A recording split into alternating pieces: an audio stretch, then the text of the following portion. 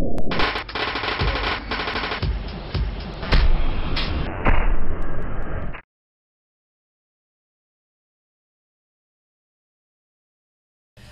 program hari ini adalah merupakan uh, program bantuan perumahan bandar uh, penyerahan kunci kepada Encik Abdul Aziz di mana Encik Abdul Aziz sebenarnya telah memohon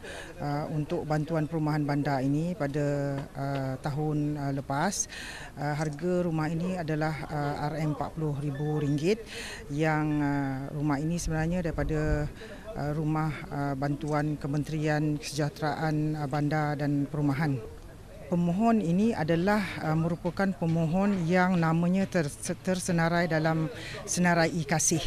yang layak menerima bantuan ini. Uh, dan syarat-syarat uh, pada mereka-mereka yang mendapat uh, bantuan perumahan bandar ini setelah siap uh, mereka uh, t- mesti tinggal di rumah ini tidak boleh disewakan kepada orang lain. Dan uh, mereka juga dikehendaki tidak boleh uh, membuat uh, binaan ataupun penambahan uh, binaan selama dua tahun. Uh, sebab dia masih lagi uh, dalam uh, permatian eh kontraktor. Dan saya nak mengucapkan terima kasih juga kepada pihak kontraktor uh, yang sanggup membina rumah ini kerana rumah ini harganya uh, terlalu amat rendah iaitu uh, RM40,000 kalau di uh, kita kaji semula uh, kos binaannya sahaja hampir mencecah uh, sebanyak RM38,000.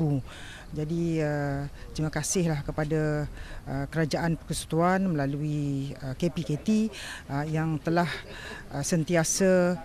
prihatin dan uh, sentiasa membantu uh, rakyat uh, yang memerlukan uh, bantuan uh, untuk membina rumah uh, di kawasan uh, persekitaran uh, uh, kota Damansara terutamanya dan seluruh Selangor khasnya lah. Setakat ini uh, uh, kalau untuk uh, KPKT hanya satu unit saja tetapi uh, insya-Allah saya dapat lagi satu unit di kawasan yang sama juga di Kampung Melayu Subang tetapi yang itu di bawah KKAW telah siap pun dibina